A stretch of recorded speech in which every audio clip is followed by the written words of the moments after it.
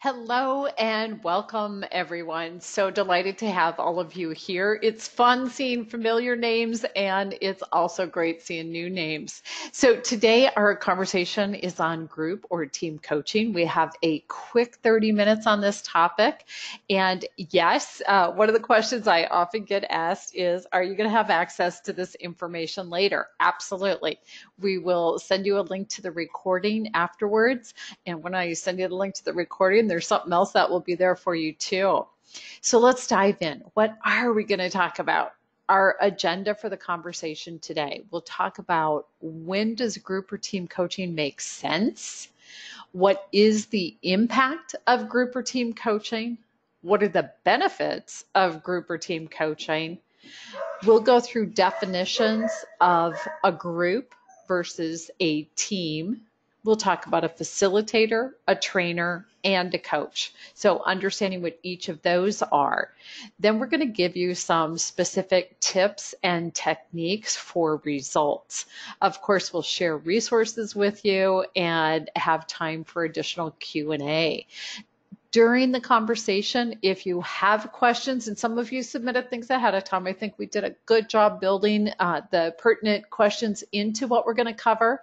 Uh, for those of you that had questions on other topics, I'm happy to connect with you at the end. Uh, when I send you uh, the link to the recording, I'm going to include hey, if you want to schedule time for a one on one call, you can do that. And I'll give you how to do that in that email. So you can watch for that. So throughout the conversation. If you have a question related to this group or team coaching topic, please type it in the question panel. Or if you want, raise your hand. It's really fun when somebody is brave and raises their hand and comes in live. Because uh, if you raise your hand, I'll unmute you and you can ask your question live. So awesome. All right, let's dive in. When does it make sense? Um, to me, of course, my gut reaction is to say all the time. it's just a great tool. So it mm-hmm. makes sense as a benefit for clients. If you think about it this way, in the workplace, when you have a team, it's a huge benefit to that team to have a coach working with them, whether it's working on their relationships and how they work with each other, or it's because they're working on a particular project. A group coach or a team coach can totally empower uh, their results, their outcomes. Now, the, we'll talk about definitions for a group coach. For now, let me start with an example. Sometimes you'll have somebody that does career coaching. That's a great opportunity for doing group sessions because the individuals are all working on their career and they have a chance to learn from each other. It's also very cost effective for them. So they get the information, they get the coaching, and they learn from each other. Fabulous benefits it's an additional service for you as a coach. So if you're coaching and you've you've done your training, some of you, and I recognizing names, have done your initial training, the professional coach. So you're moving toward that. For those of you that have completed training, you've done your master coach, you're part of the ICF, that kind of thing. Uh, you've experienced the group or team coaching in class. It's a fabulous add on. I'm doing a, a master coach class right now, and people say, wow, I hadn't really thought about this as a tool or a resource. And I'm hearing that from internal coaches and I'm hearing that from external coaches. It's a fabulous opportunity for you as a coach and a tremendous business builder. Now, it's also uh, as a business builder, something that you can put in a package. So, for example, and again, it'll vary depending on the type of coaching you do, offering a package to somebody where they have one group session and one individual session each month is awesome because it gives them the individual attention that really enhances what they're doing and it gives them that the wealth of insight from a group of people and it keeps it affordable. It makes it very manageable for you as well. It's a, a great opportunity to further expand what you're doing. It makes sense because it will increase team and individual results it makes sense because it supports achievement of goals and objectives, whether those are individual or for a team, for example. And it will enhance engagement and productivity in the workplace because it enhances the interactions everybody has. Let's look at some of the research. So, this is one of the studies that were done. Here's some of what came out of it. They said with that coaching, You had improvement in relationships with direct reports. As 77% of the time, people said, Yeah, that improved my relationship there. 71% of the time, individuals said it helped them improve their relationship with their immediate supervisor. With peers, 63% of the time, and with clients, 37% of the time. So that's exciting. Now, in terms of increasing uh, teamwork 67% of the time uh, big improvement there job satisfaction went up 61% of the time organizational commitment a 44% improvement that's phenomenal. If we could get that everywhere, can you imagine?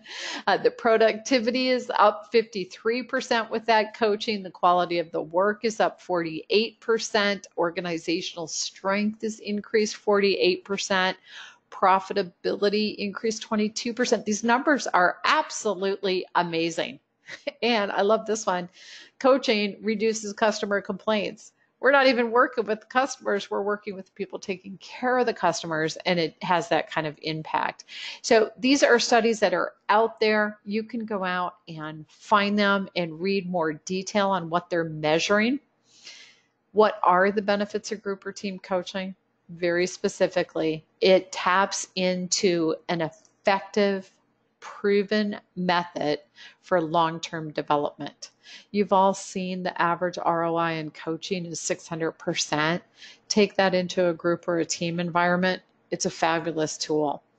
It's a great way to navigate change in a collaborative way and if you think about this, there's conversation about the VUCA world, volatile, uncertain, changing. We've we've got all of that going on. There's so much happening and happening so fast that when you give it people a chance to talk about it, and work through how they're approaching it, it just makes sense that you're going to get a better result and of course the economy of scale. So instead of working with one person at a time, the opportunity to work with an entire group, it serves you as a coach, it serves your your clients because of the economy of scale for them too. More benefits of group and team coaching, skill enhancement. So when you think about individual coaching, we know that's one of the intentions of individual coaching to enhance our skills. The same applies when you're talking group or team coaching. The skills of the people involved go up. And sometimes it's quite simply the coach is modeling effective people and communication skills, and the people in the group or on the team observe that, experience that, and start adopting some of those skills. Other times it's because it's intentional. They're saying, okay, what are the skills that are going to make a difference for us? And they start working on those in particular. So it happens in many, many different ways. It's also really great for resource identification. Chances are you've all had an experience like this somebody working in a company and somebody in a different area of the company is looking for something, wants something, is going to benefit from someone, something, and they have no clue it's available to them. When you start bringing people together in a group or in an in a team environment, they start saying, "Oh yeah, well I know where to get that. Hey, I know where that resource is." And all of a sudden, they're going, "Oh, these things are here. We do have them available." So it's the communication it's also a powerful tool for creating best practices, whether it's best practices for an individual uh, who is seeking a job or a different job, a career change or a new career. It is a great opportunity in a team environment to develop best practices. You also have groups inside of companies where even though they're working on different things individually, they're in common. So, for example, a leadership group and that leadership group is going to start developing best practices out of their conversation, taking the input from everybody, learning from each other. So it's fabulous. It empowers everybody there to learn from each other. It engages all of them to the benefit of everyone there. And of course, it enhances individual growth. So hopefully you're all getting as excited about group or team coaching and the potential of it as I am. So let's figure out what's the difference. So a group is multiple individuals whose personal goals are in alignment. So here's the example. If I'm a coach and I say, oh, yeah, I'm going to add group coaching and I'm start scheduling group coaching sessions. And I set up a group, and maybe one person is going through a divorce and another one's getting a new job and a different one's running a small business uh, and a different one's transitioning into the, the retirement phase of life. Is that a group? Mm-mm, no, they're in completely different places. So when you think about putting together a group in your individual coaching business, think about the people in the group having similar objectives. So a group for small business owners, fabulous. A group for people changing jobs or looking for a job, fabulous. They all have a common interest. In the workplace, I mentioned the example of a group of people developing as leaders and future leaders. That's a great one. So, those are examples of what a group is. In terms of a team, a team is people that are working together uh, sometimes within an organization, they're all employees and they're on the same work team. Sometimes you will have different organizations bringing people into this team. Uh, think of this one a United Way campaign. You'll have people from different companies and they're working together on that fundraising objective. Uh, other times, and, and I think this one's fabulous, I love it when a company brings in vendors and clients and so they put a team together working on something that's going to serve all of them. And you get a lot of rich perspective in that one. So definitely an opportunity in, in terms of what's going on. So now let's start defining some of the different professionals who are serving a group or a team. A trainer is somebody who comes in and teaches a particular skill or type of behavior. So what they do is they start out by identifying what are the objectives. Then they develop, they create the program, the teaching that they're going to do, and they deliver that training program. They evaluate the skill level of the individuals in that group or team, and then as appropriate, provide additional training. Now, a great thing to be aware of for all of us who do coaching is that for trainers, coaching is actually considered a core competency. And the reason for that is because coaching skills enhance the actual training session. So, good to know on that one. The same, by the way, is true of facilitators. So, what is a facilitator? A facilitator has an outcome in mind when they come in, and their job is to move the group or the team toward that outcome and they do it by providing indirect or unobtrusive assistance, guidance, or supervision. So it's about the process to get them to that specific objective. They know the end goal when they start, they manage the group, they give options to move forward, and they make sure the group is working together for the defined objective. How is that different from coaching? A coach is defined as a partner. Now, this is huge because when we think of a trainer and we think of a facilitator, they're the expert. We bring them in and they're in that position of power and control, if you will, and they are the expert. A coach is not. They are there as a partner, and it's truly a partnership. It is the coach's responsibility to empower clients so that the client, the people in the group or the team, clarify their own goals. It is the client the people in the group or team that create their own action plans. They figure out how they will move past obstacles and they achieve what they choose.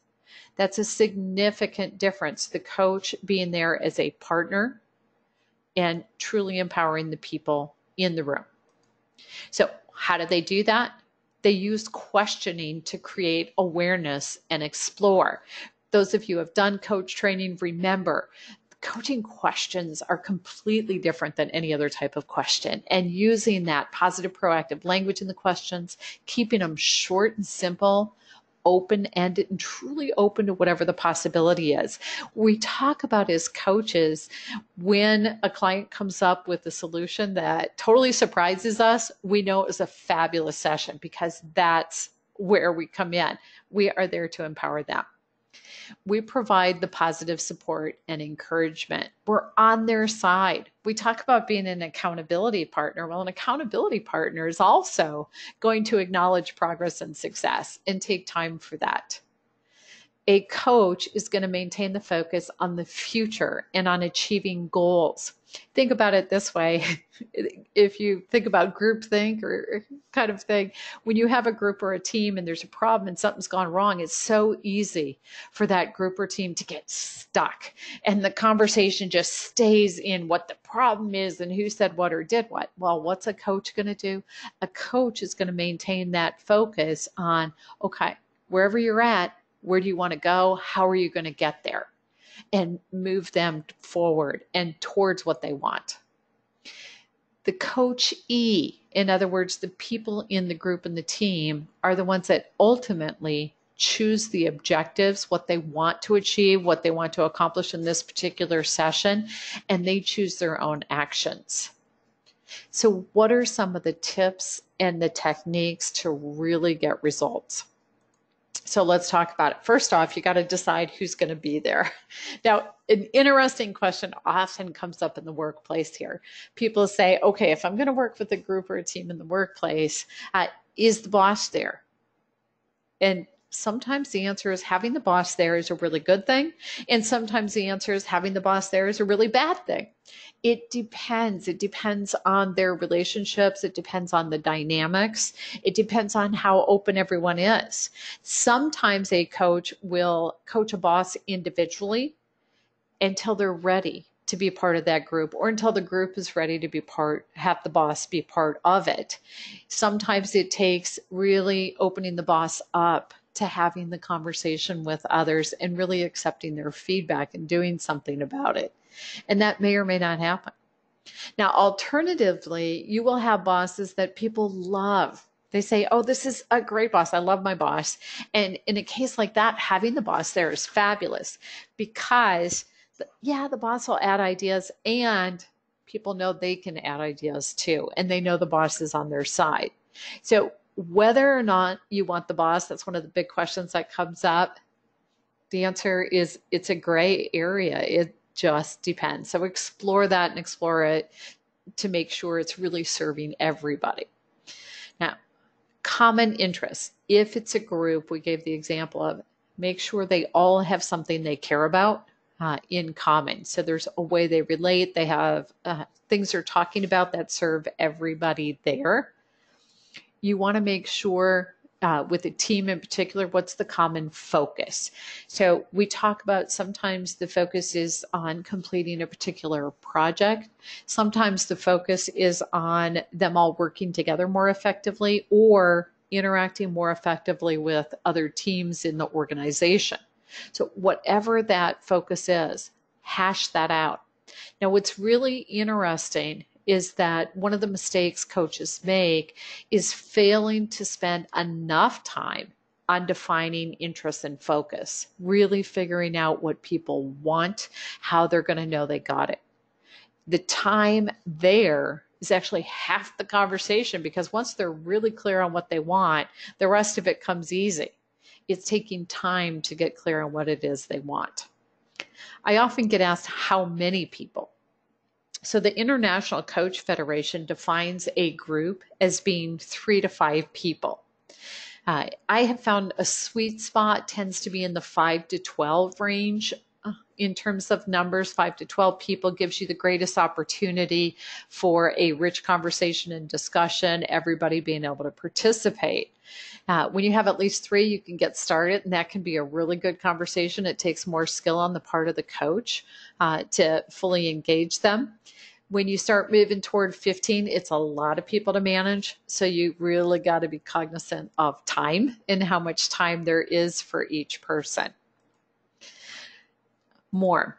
When you think about planning your session, one option is for you to decide on topics, and then a different option is that that decision be handled by the group or the team. So, a couple of examples for this. Uh, if you have a coach that is brought into a company, oftentimes the company who's the sponsor in that relationship has specific objectives in mind. Hey, this is what we want to accomplish. And there's some work coordinating what's going to be covered in the coaching sessions. And so in a case like that, it's being pre-selected. The challenge there for the coach is to effectively engage the people in that team in terms of owning what the topic is. Hey, this is what the company wants talked about and addressed. What's your reaction to that? What do you want to do with that? How do you want to engage with that topic or disengage from that topic? Because ultimately, it's the client who's choosing. Now, a different possibility, a different example for you, I mentioned career coaching as one.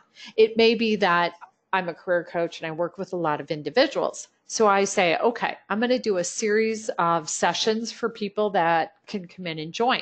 The first session is going to be maintaining your confidence while you're in the job search process. Uh, I'm going to do a session on resume writing. I'm going to do a session on interviewing. We're going to do a session on negotiating. We're going to do a session on job search strategies, whatever it is. And you develop a series of different topics based on what's going to make sense.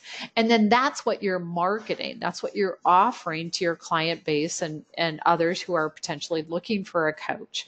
And the way they engage with the topic is they say, yeah, I want to participate. That, that works for me. And they decide to sign up for those group sessions. So those are examples of pre-selected topics. Now, if you want to move to deciding with the group or team, there's a couple different approaches there. One possibility is you literally show up and say, okay, what does everybody want to talk about? Uh, a great example for that is a mastermind type group or team. So if you have a lot of small business owners that you work with, them coming together in a mastermind session, they can say, hey, here's what's going on for me right now. I want to talk about it and, and whatever else people bring up, and then they decide where they're going to go. A different type of approach to that deciding on what they're going to talk about is when uh, you do an advanced survey. So, for example, using a tool like SurveyMonkey and sending it out to everybody that's in the group and saying, hey, here are possible topics. What other topics? What do you want to talk about? You have them vote and rank, and you have them pre select the topic based on that survey that goes out to them. So you've got choices as far as how the agenda is being created. The other consideration for you is do you want to prepare with questions ahead of time or do you want it to be a free flowing session? And it's an interesting mix. Sometimes it's helpful to have some questions that you send out and everybody says, okay, this is what we're going to talk about. It gets them thinking and working on those questions. And they come in and it's a rich conversation. And other times, what can happen, and I've seen this happen, is we get too prepared and then we get too invested in our own plan. So we go in and, oh no, you can't talk about that. You got to answer this question. Oh, we're going to run out of time. We're not going to get through my questions. and then you get stuck. And it doesn't have the value it has when you really give them the control.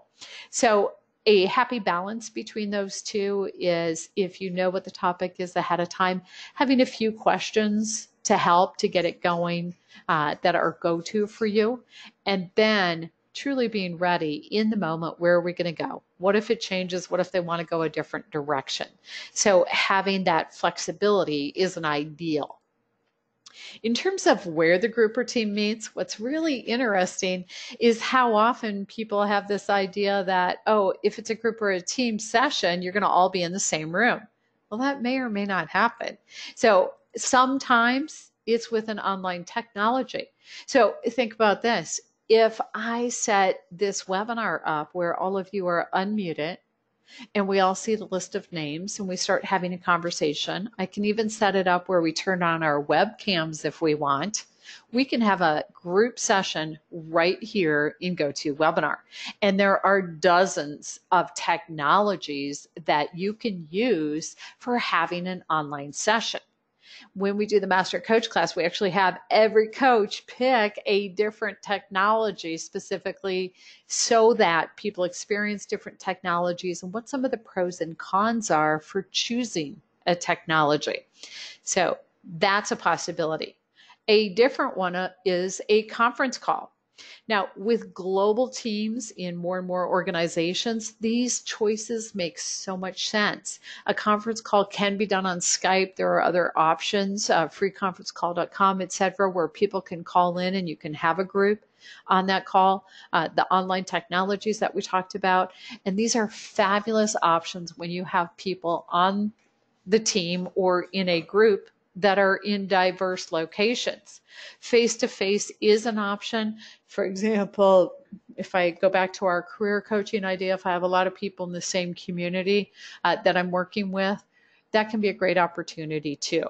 So there's pros and cons to each of these possibilities. It's thinking them through ahead of time and preparing for them ahead of time. Managing the time for the group or team is one of your challenges. And then, of course, applying your coaching competencies. For those who you who have done training, you say, okay, I get the competencies in an individual session. What about in a group? Guess what they apply? So let's talk about it. Time. How do you effectively manage time in a group or team session? First off, determine what the session objectives are with the group or the team determine how they want to have the conversation. Hey, is this going to be a brainstorming session? Is it going to be mini coaching? Is it going to be everybody uh, addressing certain questions? How are you going to handle it? Determine how much time they want to put into each topic. And if the team or the group is unsure on that, then as a coach be thinking, okay, if they're going to talk about three different things, we have this much time, this one's more important, is start having a sense of what amount of time is going to make sense. And then you check with the group or the team as you move through the conversation. Is this serving you? Do we want to stay here? When are you ready to move on? And you check with them. And as appropriate, you move the conversation forward so that you are moving through all of the objectives in terms of the coaching competencies and applying those? Well, ethics is one of our competencies, and a big one is confidentiality. Have a conversation with the group and team. Hey, how are we going to manage confidentiality here? What's our commitment to that as a group or a team? The agreement itself, knowing and in coaching we yeah we have a written agreement everyone we also every single session have an agreement of what do you want to accomplish? How are you going to know you achieved that? So, empowering them with the choice in terms of what's going to happen with the coaching session and how it's being used trust and intimacy, creating a safe space so people can openly have the conversation. Now, of course, depending on the dynamics of the individuals, people may or may not be holding back. It depends on their comfort level with the others.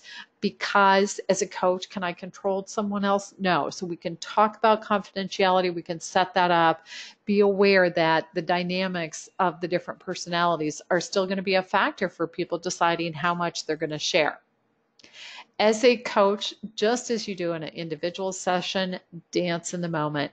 Go with what's working for them. Truly listen to what's being said, and rephrasing helps everybody in the group or on the team because sometimes they caught what the person said and sometimes they didn't. And for the person speaking, it adds to the clarity. Keep your questions short, simple, and open, just like you do in a coaching session Use clear, direct language that is succinct and respectful, and it demonstrates your belief in their abilities. Create awareness in the group or the team through the exploration. Support them to empowering ownership of whatever actions they're deciding on. Support them to truly engage in the process and what's going on. And invite them how do you all want to manage accountability? And how do you want to celebrate successes? Our competencies apply with a group or a team just as they do with individuals. Okay resources for you very quickly. Of course, the International Coach Federation, the Center for Coaching Certification, and the Center for Coaching Solutions. The International Coach Federation is the gold standard in coaching. Being a member of the International Coach Federation is really a minimum for saying, yeah, I'm a coach and putting yourself out there. And above and beyond that, they offer credentialing. Center for Coaching Certification is a resource for coach training and getting the training for membership in the ICF. Plus, if you want to move toward credentialing, that's available. We also have the Center for Coaching Solutions. So, if you are looking for a coach, if you are looking for support for your coaching program or internal training at your organization, these are all available to you. Of course, for consistently putting out information. We have a blog with new articles every week. We publish a book every year. The chapters are written by graduates, and there is fabulous expertise available in these books. Check them out. They're all on Amazon. And then the webinars, just like this one that we had. We do want to be available to you uh, for a quick call or email to support you in getting questions answered. We're available for outsourcing of coaching programs, training, and coaching.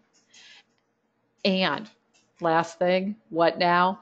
I mentioned that when I send you the email with the link to the recording for this, I'll give you, hey, if you want to schedule a 30 minute conversation, let me know.